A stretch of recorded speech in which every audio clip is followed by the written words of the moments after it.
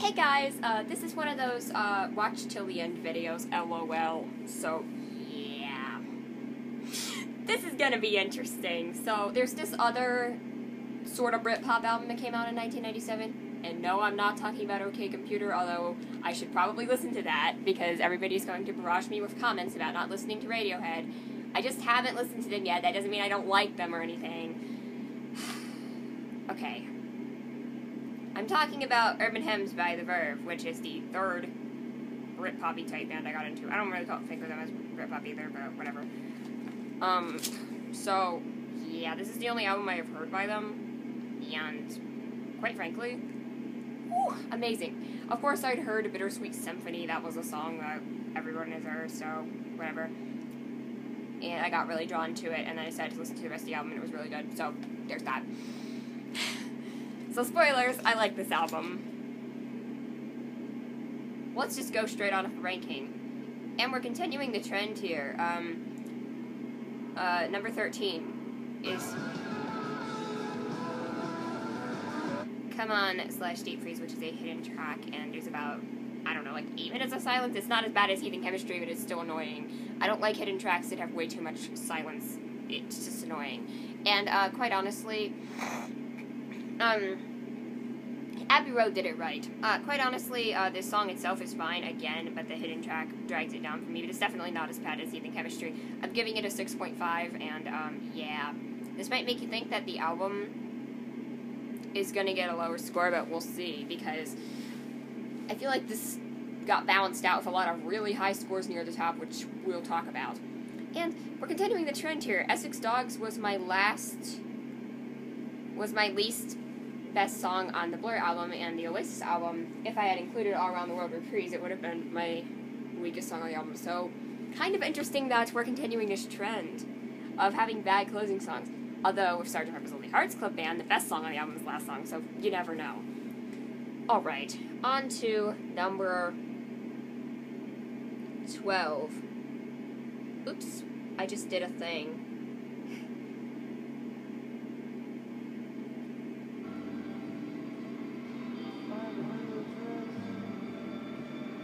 So number 12 is Neon Wilderness, and I'm going to give it a 7 out of 10. Uh, it doesn't really do a lot for me. It's pretty short, but it's still solid. Okay, so number 11 is um, going to be Space and Time.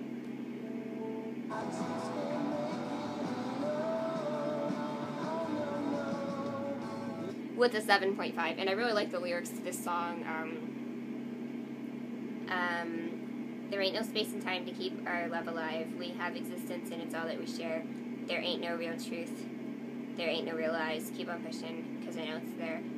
Um, but I would say that uh, lyrically, I really like, and uh, but musically, this doesn't stick out to me, so it's a 7.5. Next up is going to be um, Velvet Morning um, with an 8 out of 10.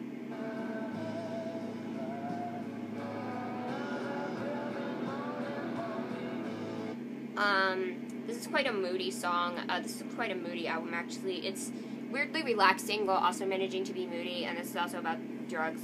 So, um, kind of the way I feel about Champagne Supernova, except I honestly don't find that song relaxing anymore. I find that song epic. But, yeah. Kind of way I feel about Oasis in general. I find them weirdly relaxing, even though they're just freaking, you know, in your face. Drug addicts! Oh, I'm sorry. So, yeah, Velvet Morning, uh, solid 8. Next up is going to be 8.5, Weeping Willow.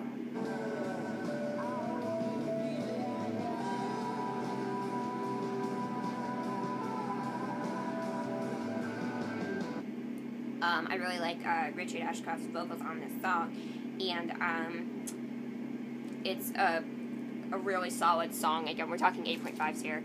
Um, I can't remember if it was the Blur album or uh, that I didn't have anything below, I think 7.5 or something. I can't actually remember. Because um, I gave. I gave Essex Dogs an 8, so I had nothing below an 8. So this is definitely a having a little more trouble here, but we'll see. And uh, with the Oasis album, I gave it, um, I gave nothing below a, um,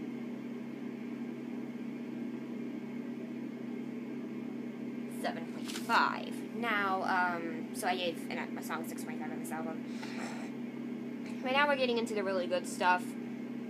So again, that was an 8.5. Um, the next one is going to be another 8.5. The drugs don't work.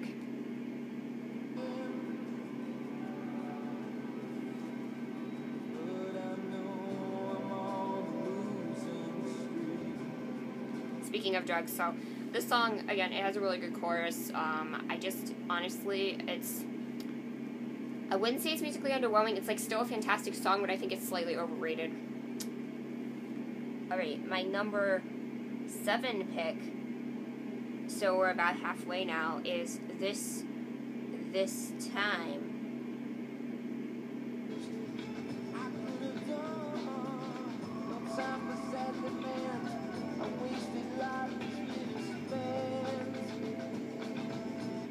Um, I quite, quite enjoy this song. It is an 8.5. I like a lot of the stuff. Looking back on my life, you know that I see all the things I could have changed, I should have done. Where did the good times go? Good times are so hard to hold this time. So, yeah, pretty relatable. Even, like, I understand when you're old or whatever, but, like, I'm not old, but, like, I'm not making any goddamn sense. Let's move on. Um, dude, I find his lyrics so deep and I get like emotional, so let's move on. Um, to my first nine. The fact that we're number six and we're already in the nine tier is a good sign. My first nine is Catching the Butterfly.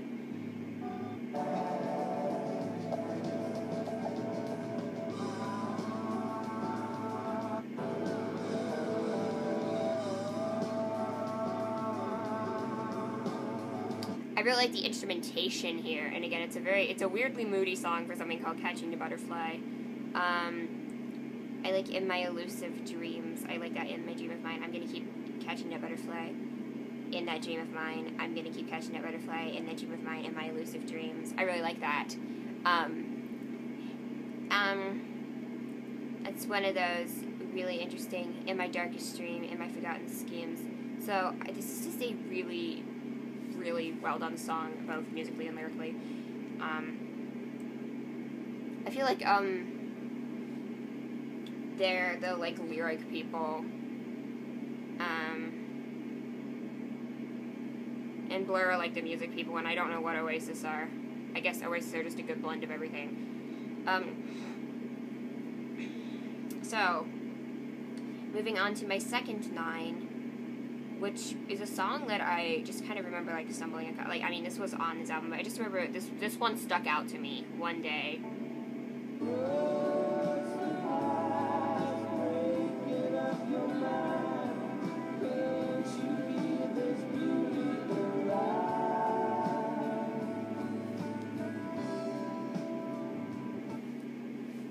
Do I need to say anything? This song is gorgeous. I'm getting chills just listening to it right now. That's my second 9. Here's my 9.5. Notice I said here's my 9.5 at number 4. This is a 7 minute psychedelic number, The Rolling People.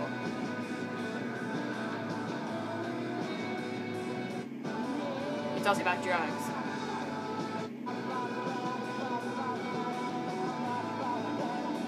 And guess what? The length doesn't bother me one bit. Britpop is good. I like it. I don't think Britpop is a good term, but whatever. Moving on. Uh, before I move on from this song, I do want to say I know I just said seven minute psychedelic rock song about drugs. I'm not talking about Champagne Supernova. It's not that far off though. I gave this one a 9.5 where Champagne Supernova gets a 10, although technically an 11 in my opinion because that song is God tier. Champagne Supernova is one of those special experiences that only a few songs can be, in my opinion. So yes, I said that is my 9.5. So we have three songs that are 10 out of 10s. Honestly, I couldn't really choose between which one was going to be the top. I, I tried to rank them, but um, it was hard. So let's just say that for now, um, I, I, I'm choosing between these top three was really freaking hard. Um, and it could easily, my opinion on this whole thing could desperately change over time. If I feel the need to make a re rank later from now, I will do that. But from now on, my number three is the iconic song, Bittersweet Symphony.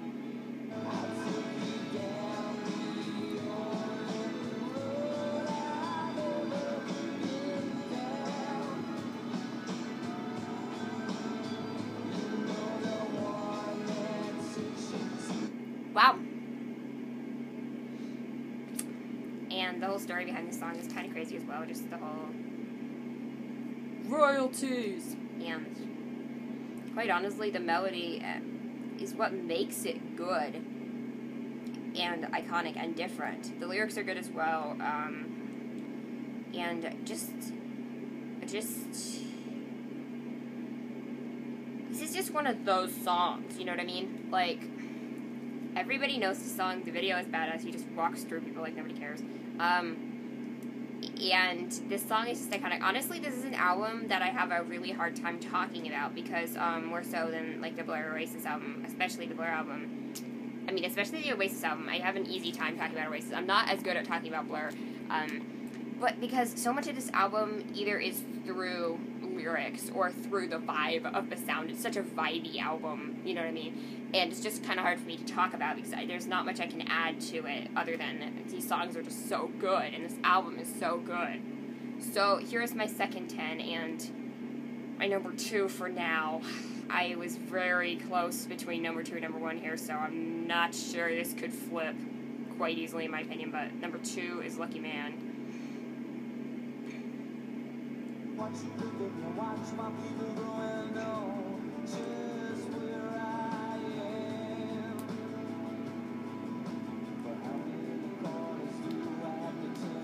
How many times do have to run? Whew. Yeah. Um, big, big song. And uh, I think the funny thing about this video is my dad stumbled across it because I sent him the video for my number one song, and he stumbled across this and was laughing at how Richard Ashcroft was trying to look like Liam Gallagher, which is kind of true, actually. And um, the fact that my dad even knows who Liam Gallagher is because of me makes me so happy that like he actually know, knows what Liam Gallagher looks like. okay, that's off topic. But um, yeah, back to back to um, this song. It's just such a good. Oh my god, it's such a good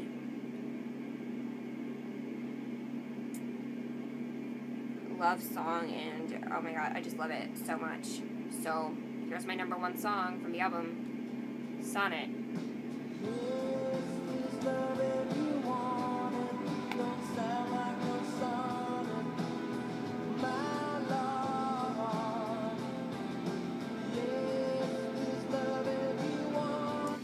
Boils down to my problem with the album, with not my problem with the album, my problem talking about it is that it's too lovely for words. There's not anything I can say. Just, just listen to it if you haven't. And again, with my first two songs being tens, uh, and my third song and the third song on the album being a 9.5, again, this is a weird case of very strong opening tracks. Although, to be fair, on the Oasis album, it was just the first opening track, and then My Big Mouth happened, which was not a bad song by any means, but yeah. And on the Blur album, it was Beetlebum song too. And then we had him, Country Sad Ballads Man. Can we call it Sad Country Ballad? No, no. Can we call it Sad Country Ballad Man? Or Sad Ballad Countryman? Sad Ballad Countryman. That works. Okay, so here's what you guys are all really, really wanting to know now. How did this album score? 8.6. 1. Now, it's lucky that I have the finite decimal places of how I scored the Blur album because that was an 8.64. So, Blur remain the champions of 1997 for now. We'll see what happens whenever I get around listening to Radiohead, but for now, Blur are the champions of 1997 by an incredibly close margin. But seriously, all three of these albums I've talked about, um, the Blur album, uh, Urban Hymns, and of course Be Here Now. All three of these albums are really fantastic, very different, very different albums, and all fantastic. Please check them out if you haven't. Um, So yeah, that's the conclusion of this little mini series. Bye.